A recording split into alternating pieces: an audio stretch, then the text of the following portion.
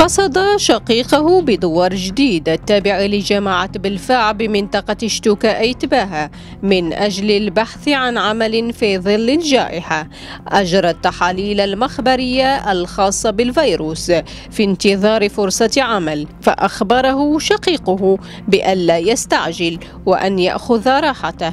لم يكن الشقيق الهالك يظن أن نهايته ستكون على يد شقيقه الذي كان ضيفا عنده.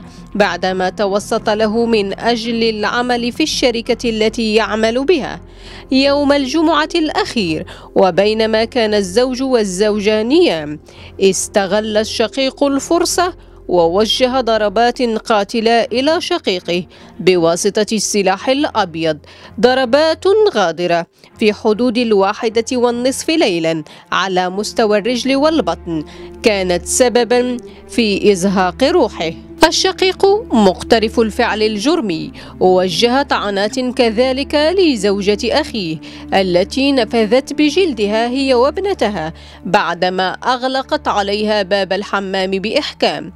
بمجرد أن اطمأنت لعدم وجوده خرجت مسرعة قبل أن تجد زوجها مدرجا بدمائه وهي التي وضعت توأمها قبل أربعين يوما.